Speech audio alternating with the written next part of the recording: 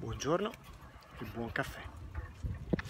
Come sapete tutti benissimo, negli scorsi giorni, nelle scorse settimane, si è laureata mia figlia. E ovviamente da animale social quale sono, e animale potete interpretarlo come volete, ho pubblicato una serie di fotografie della giornata di proclamazione della nuova dottoressa e della piccola festa che ne è seguita.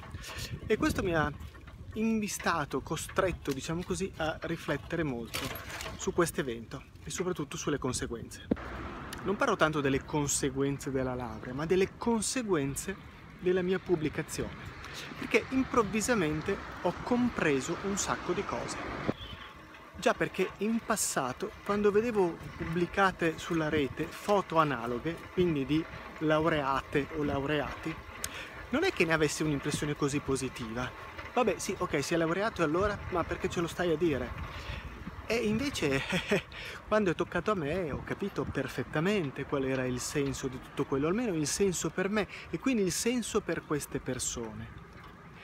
Condividere una gioia, il piacere di vedere condiviso qualcosa che per noi è importante e che riteniamo meriti l'interesse degli altri, meriti di essere messo in vetrina.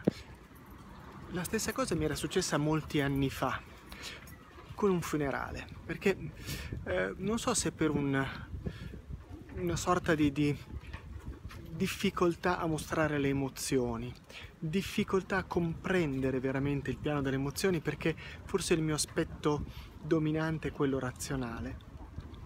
Ma ho sempre fatto molta fatica a partecipare ai funerali e mostrare empatia con le persone nei funerali, con, con i cari delle persone scomparse, perché avevo quasi l'impressione che fosse un modo per mettersi in mostra, per dire guarda io c'ero, eh, hai visto che sono venuto, fa conto che sono stato qui, che ho rinunciato a una giornata di lavoro o altro per venire. E questo non mi piaceva perché non credo che sia questo il senso dell'affetto che bisogna mostrare.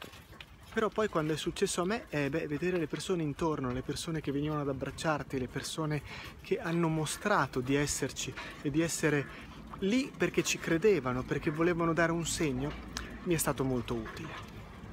Riassumo, concludiamo il caffè. Quindi bisogna stare dentro le cose per capire veramente quello che provano gli altri. I giudizi dati da fuori, i giudizi dati partendo da una posizione che non si è compresa, sono molto fallaci e credo che questo valga per tanti casi della vita.